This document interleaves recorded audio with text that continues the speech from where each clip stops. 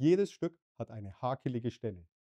Sie hängt dir auch schon zum Hals heraus, weil du sie ständig übst. Und das Gemeinste, sie klappt auch, wenn du sie direkt anspielst. Aber im Zusammenhang geht es immer wieder schief.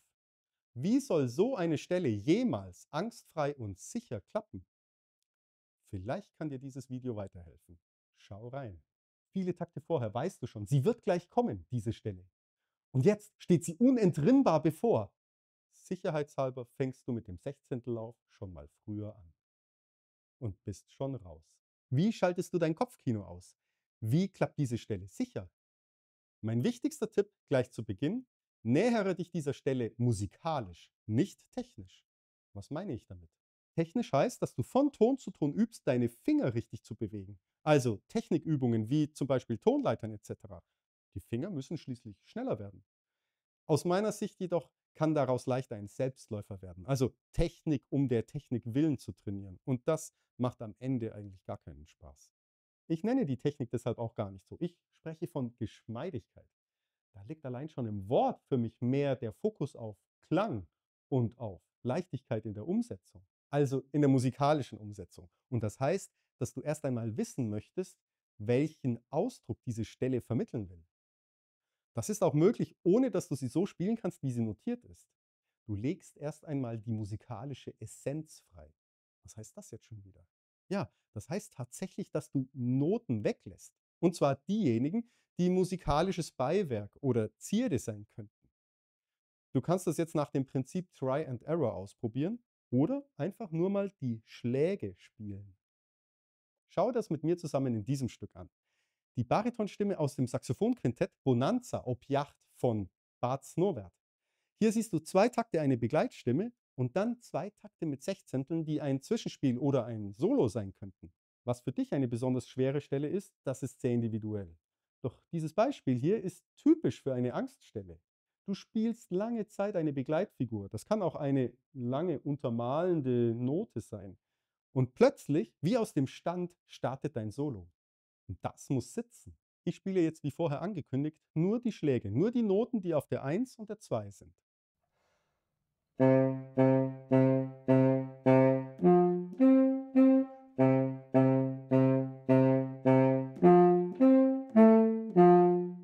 Erstaunlicherweise erkenne ich da schon einiges aus der Baritonstimme. Doch wenn ich jetzt die 1 noch betonter spiele, dann wird es für mich gleich klarer und auch sicherer.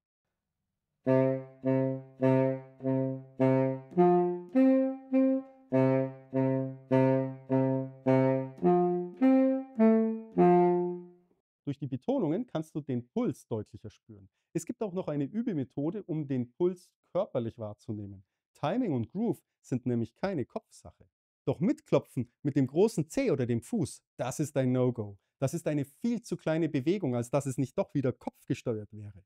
Tanze dazu. Nein, also gehen reicht. Gehe ganz gleichmäßig links, rechts, links, rechts und spiele dazu.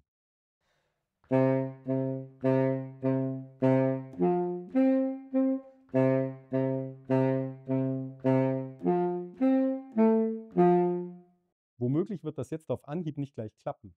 Wie du das genau machst und wie du das lernen kannst, das zeige ich dir in einem der nächsten Videos. Da gibt es nämlich viele Vorübungen, die du machen kannst und das würde jetzt den Rahmen sprengen. Wichtig im Moment ist nur, dass du weißt, dass du den Puls körperlich wahrnehmen kannst. Der Puls wird dich am Ende nämlich sicher durch die Stelle tragen. Ich kann den Puls also jetzt spüren. Doch um einen deutlicheren Ausdruck in die Stelle legen zu können, da brauche ich noch ein paar mehr Töne. Ich nehme also jetzt die Achtel dazu und achte darauf, dass ich den Puls beibehalte.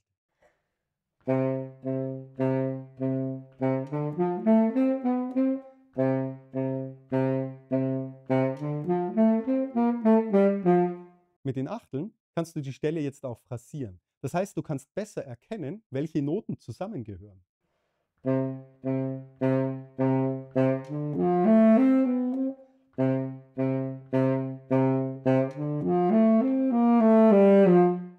Besonders wichtig für mich ist, dass das A1 in den Takten 3 und 7 zu den vorhergehenden A's gehört und nicht zu der nachfolgenden Achtelkette. Ich könnte diese 1 sogar als Zielton der ganzen A-Kette bezeichnen und deswegen habe ich sie mit einem Phrasierungsbogen gekennzeichnet. Auffällig wird dieser Zielton auch dadurch, dass auf der 1 und auf dem H der Bindebogen beginnt. Hör dir das nochmal an. Du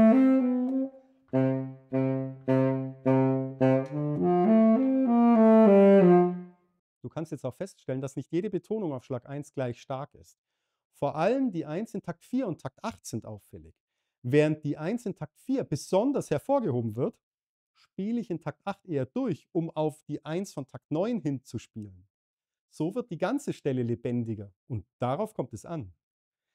Jetzt kannst du also schon ganz viel von dem Ausdruck erkennen, der in dieser Stelle drinsteckt. Wenn ich jetzt die Achtel, die im Original staccato notiert sind, auch kurz spiele, dann könnte ich das für eine erste Probe auch mal so lassen.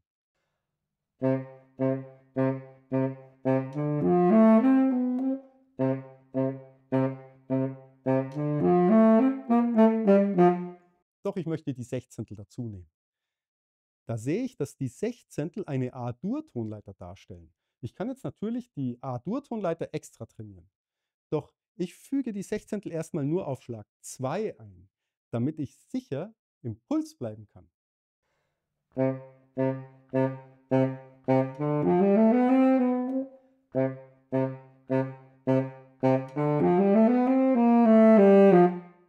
Nach und nach nehme ich noch weitere Sechzehntel dazu.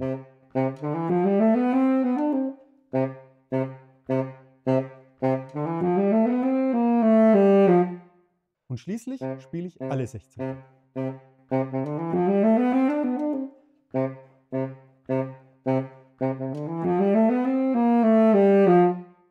Entscheidend für die Klarheit der Phrasierung ist die Wiederholung der beiden A's in Takt 3 und 7.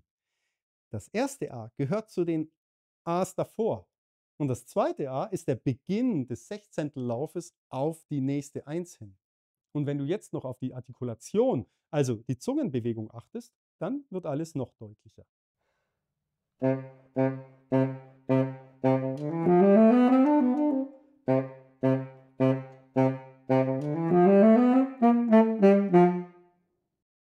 Eine schwierige Stelle spielen zu können, brauchst du vor allem zwei Dinge.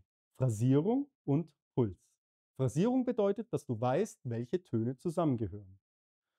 Buchstaben ergeben Worte und Worte ergeben erst in einem ganzen Satz einen Sinn. Und genauso ergeben Noten Motive und diese in einer Phrase einen Sinn. Ein geschriebener Satz trägt einen Inhalt in sich und eine musikalische Phrase trägt einen bestimmten Ausdruck in sich. Durch die Reduktion, also indem du Töne weglässt, kannst du den Ausdruck einer Stelle freilegen und leichter erkennen. Erst wenn dir klar ist, welcher Ausdruck in einer Stelle drin steckt, kannst du sie wirklich spielen. Die Sicherheit, dass die Stelle auch klappt, die gibt dir der Puls. Und den kannst du auch leichter einüben, wenn du Töne weglässt. Durch das Gehen zum Spielen kannst du den Puls körperlich wahrnehmen und trainieren. Schaue dir zum Thema Reduktion auch dieses Video zu einer Etüde von Franz Wilhelm Ferling an. Da zeige ich dir, wie ich sogar ganze Stücke auf diese Weise einübe. Das Tolle an der Reduktion ist, dass sie zu jeder Art von Musik passt. Egal ob Klassik, Jazz, Rock oder Pop. Probiere es aus und halte dich nicht mit der Zierde auf. Spiele zuerst die Essenz der Musik. Dann verstehst du den grundlegenden Ausdruck, der da drin steckt und kannst später mit Leichtigkeit die Ausschmückungen wieder hinzufügen. Im Jazz kannst du das spontan in einer Improvisation machen. Du hast auch gesehen und gehört, welche Bedeutung Puls und Betonung für die Lebendigkeit deines Ausdrucks haben. Genau das wünsche ich dir, lebendig Saxophon zu spielen. Viel Spaß dabei. Bis zum nächsten Mal in der Saxophonschule Christoph Kirschke.